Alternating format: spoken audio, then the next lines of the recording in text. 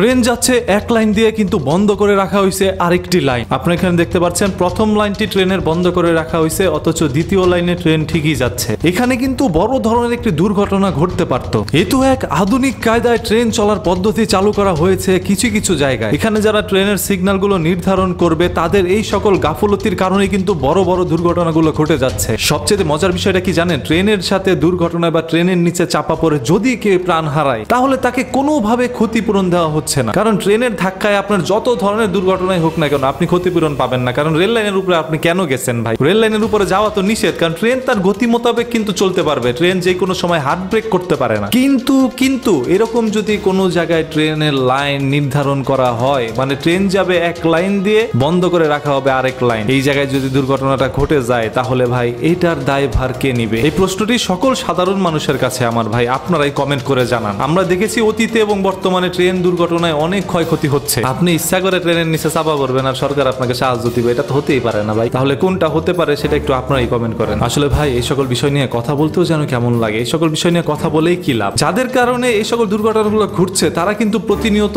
এই অবহেলা করেই যাচ্ছে। এটার বিপক্ষে কোনো ধরনের পদক্ষেপ কি আদৌ নেওয়া হবে না? যদি নেওয়া না হয়, তাহলে এরকম দুর্ঘটনা কখনোই আমরা ঠেকাতে পারব না। আপনাদের সবার কাছে অনুরোধ, ভিডিওটি একটু শেয়ার করে দেন। আর কিচ্ছু বলার নাই ভাই। দেখা হবে পরবর্তী ভিডিওতে খুব শীঘ্রই। এতক্ষণ সবাই ভালো থাকবেন, ভালো রাখবেন, মন্দ অতি বিরত থাকবেন। আসসালামু আলাইকুম। আল্লাহ হাফেজ।